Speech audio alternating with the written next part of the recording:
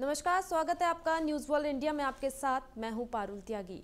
रूबीना दिलेक इन दिनों big boss 14 में छाई हुई हैं और अपनी बेबाकी की वजह से अक्सर घर वालों और सलमान खान के निशाने पर भी रहती हैं। जहाँ रूबीना को बिग बॉस हाउस में लोग काफ़ी पसंद कर रहे हैं, वहीं उनकी बहन ज्योतिका दिलेक ने यूट्यूब पर धूम मचा रखी है। ज्योतिका दिलेक एक मशहूर यूट्यूबर हैं और वो ट्रैवल वीडियो शेयर करती हैं। ज्योतिका का एक नया वीडियो आया है, जिसमें वो हसीन वादियों और बर्फ़ की चादर के बीच घूमती हुई नज़र आई। ज्योतिका इस वीडियो में दुनिया की सबसे बड़ी टनल, अटल टनल को देखने पहुँची थी। ज्योतिका के इस वीडियो को अभी तक दो लाख लोग देख चुके हैं और इस पर कमेंट भी कर रहे हैं।